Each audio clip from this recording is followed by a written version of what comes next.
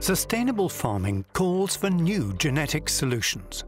Something you can do as a dairy and beef producer to breed efficient and climate-friendly cows. Feed has an enormous impact not only on your bottom line, but also on the environment and animal welfare. So how do you actually become more feed efficient as a farmer? The Saved Feed Index shows you how efficient a cow is in turning feed into milk. You can find out which bulls that will bring you the best performing and most climate-friendly cows.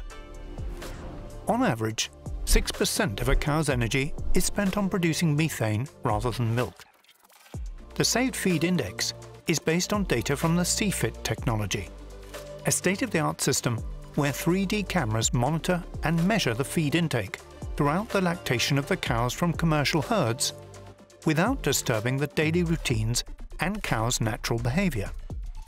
The 3D cameras and artificial intelligence identify the cows, estimate their weight and quantify how much they eat.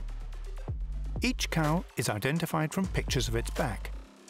The cameras record the cow's distinct pattern of colours and body shape. To quantify the amount of feed that each cow consumes during a day, the cameras take pictures of the surface of the feed. One picture before the cow goes to the feeding table to eat and one after she leaves. By subtracting the two images, we can quantify the amount of feed that the cow consumes 24-7 year-round. The CFIT technology and Saved Feed Index give you the reliable data you need to breed feed-efficient cows, make a profitable dairy business, and create a better tomorrow.